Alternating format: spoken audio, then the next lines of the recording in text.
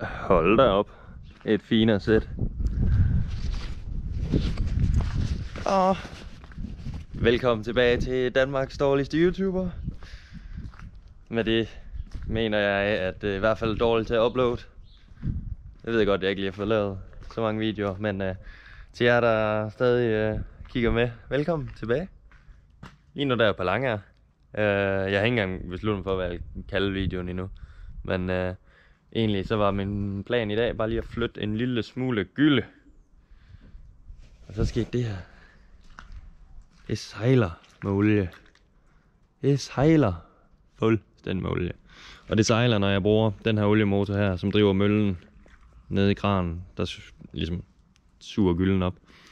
Og jeg tror da egentlig bare lige, vi starter med at vaske det lige hurtigt. Det er da nok det nemmeste. Så lige prøv at se, om I kan se noget.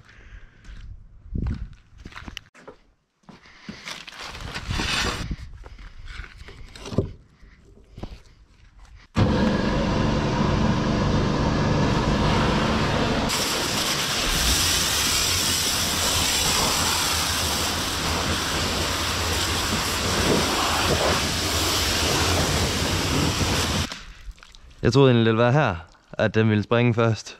Men øh, der har vi jo så været heldige, at den har sprunget et andet sted. Så vi skifter nok begge to her. Hvis jeg lige finder ud af, hvor fanden den er ud til den.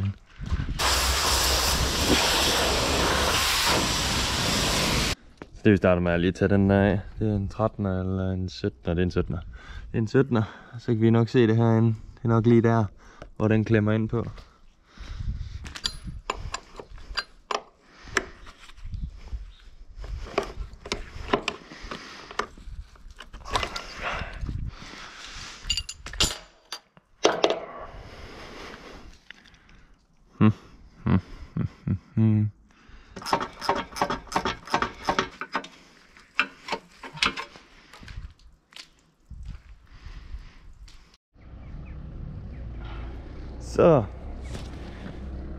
Slanger. Så skal de jo bare på. Så kan vi lige lave samme.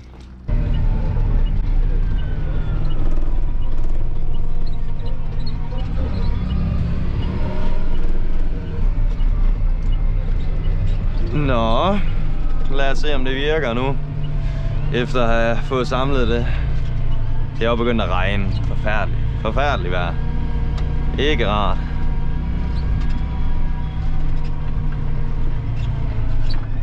Der er et lille hul her, jeg lige kan ramme igennem flydelaget.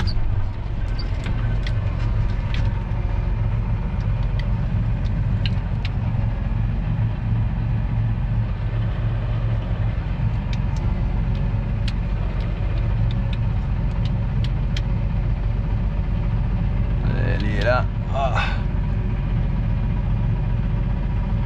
Sådan. øh. Ja. Yeah jeg sgu ud til, det bare virker. Og så kører jeg udskuddet helt tilbage her, inden at jeg bare hiver den op igennem flydelaget, for ikke lige at bare smadre det hele.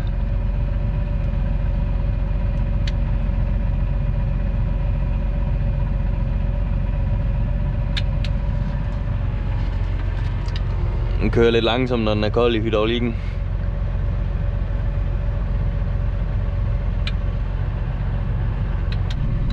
Sådan der.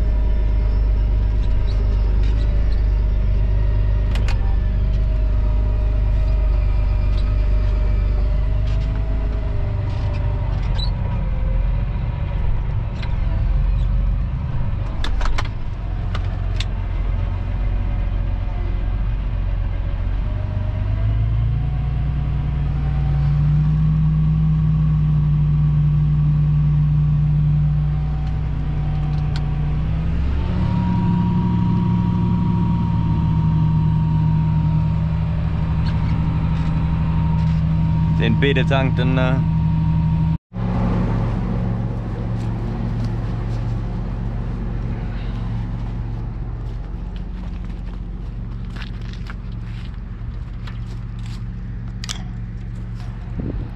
Så den tank fuld, så rykker vi bare videre. Se om vi kan fylde en mere. Nå, spændende, spændende. Så sprang... Øh, sprang er måske så meget sagt. Gik der sgu hul på gyldevognstækket.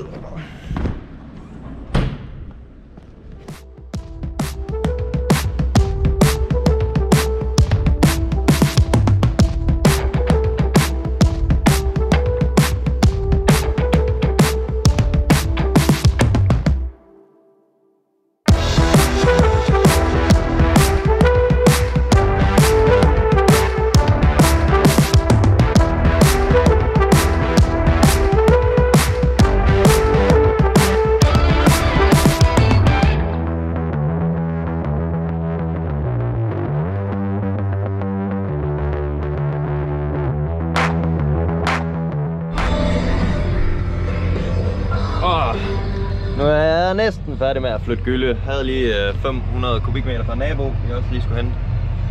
Øh, men så ringede de fra halmselskabet, at de ville gerne have læsset noget halm, så det gør jeg selvfølgelig. Så nu har jeg lige byttet med en kammerat. Han kommer lige om lidt, så tager en gyldevogn, så flytter han lige det sidste gylde, og så, øh, så læser jeg noget halm.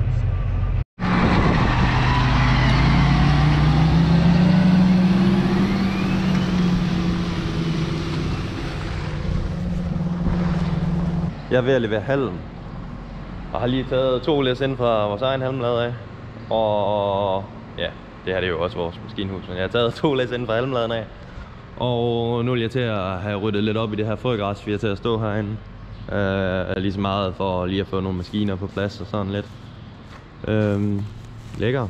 Tunge frøgræsballer. Men vi skal lige have mig taskerne ud, før vi sådan lige rigtig kan gøre noget.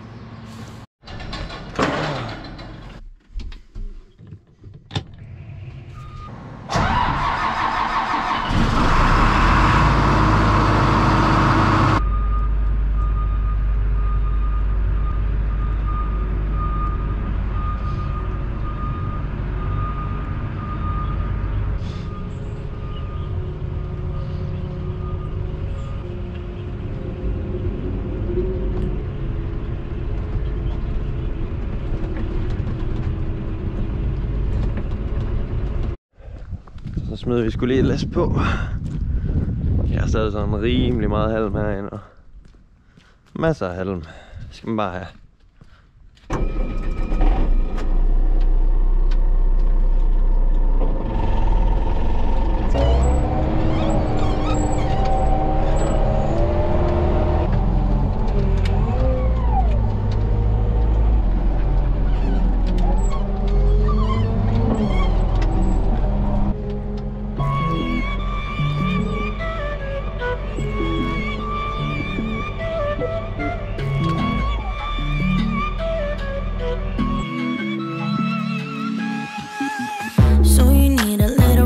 Huh? Boy, say you need a little space, yeah. Boy, is it cause you can't be faithful? Boy, hope she's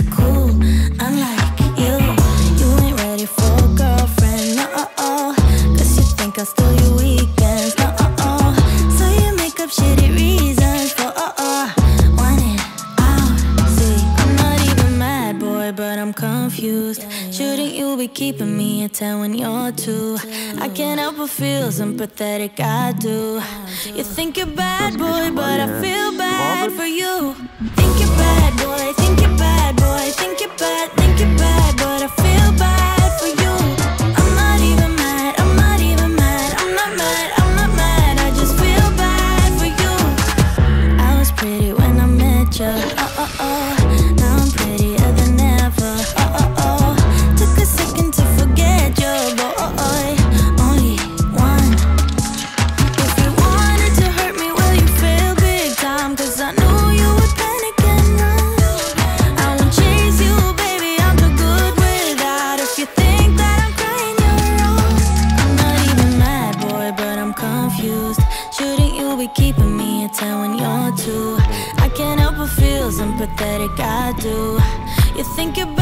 boy, but I feel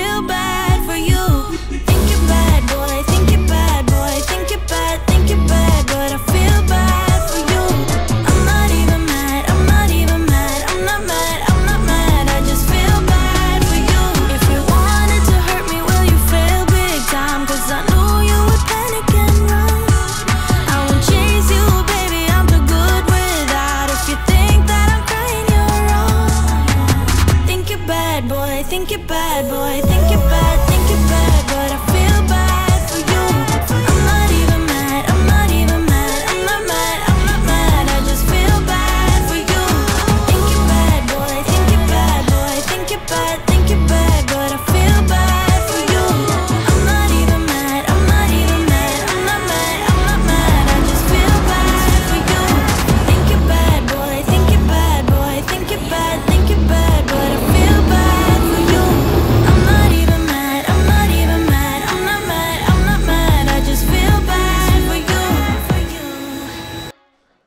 Så fik vi sgu ryddet lidt ud af halmladen. Nu har jeg rykket alt. Der stod jo noget mere frøgræs inde i maskinhuset. Øh, og det har så rykket herind, så vi kunne begynde at få ryddet lidt op i maskinhuset og få det gjort det er bare en lille smule lækkert til, øh, til at man begynder at gå og skrue lidt derinde. Jeg hader, hader, hader at have halm i maskinhuset, så nu er det ude. Og vi har da stadig en, en god slat herinde. der er der nok, øh, der er der nok en 500 tons tilbage. Men øh, det er afsat det hele. Så det er jo bare, hvornår vi kan få lov at levere det. Øhm, ja, hvad fanden endte vi med at have leveret i dag? De fire lastbiler i går, det blev til... Det må have været 50 tons cirka. Og øh, ellers har jeg leveret 100 tons i dag. Og... Så det, det er sgu bare, det er bare spillet. Det har det. Det er perfekt. Det er dejligt. Jeg elsker at få hallen sendt ud af døren. Fordi at, øh, så bliver der noget mere plads, og man kan begynde at rydde op, og det er bare lækkert. Det er bare rigtig lækkert. Og nu er jeg lige ved at samle lidt alt det her løs halm, I kan se, der ligger rundt oppe i frontlæseren, og så kører jeg ned og strøger det ned ved vores køer. Dem har vi jo lige et par stykker af. Så det er fantastisk. Og i morgen, der tager jeg ned til Blandavskonsulenten og laver markplan og får styr på sprøjtejournalen fra sidste år. Og der er lige et par huller og sådan et, der skal laves. Og øh, øh, gødningsplan for i år. Og markplan for 2023, ikke? Så det er planen. Det er ikke så meget, der kan filmes der, men øh, det er i hvert fald planen. Jeg er kommet lidt ud af træning med det her YouTube. her. Jeg kommer ind i det lige pludselig, så kører det bare igen. Jeg tænkte, jeg lige kunne vise jer lidt øh, på den her 8 her. Den skal have lavet service, det skal 85 og Det kommer også til at ske lidt i nogle af de andre videoer her. Og så er den begyndt at pisse ud med olie her. Det opdagede vi her, da jeg var færdig med at køre halm i går. Øh, faktisk lige efter det klip, I lige har set. Og øh, ja, det er pis. Jeg ved ikke, om det kommer herop ved variatorskiven. Og jeg ved ikke, hvordan det hele det skal skilles ad og samles igen. Og tætnes. Så derfor har vi ringet til Semmel og Arco, Og de kommer og laver det for os. Så det, det er dejligt nok, men det er da lidt op ad bakke. Så bliver det lidt nemmere at gøre rent nu. Nu kan I se, at nu ligger der en masse halm og ting og sager på jorden her. Og øh, altså, nu er det bare rengøring. Lige få ryddet op i maskinhuset, gjort det lækkert.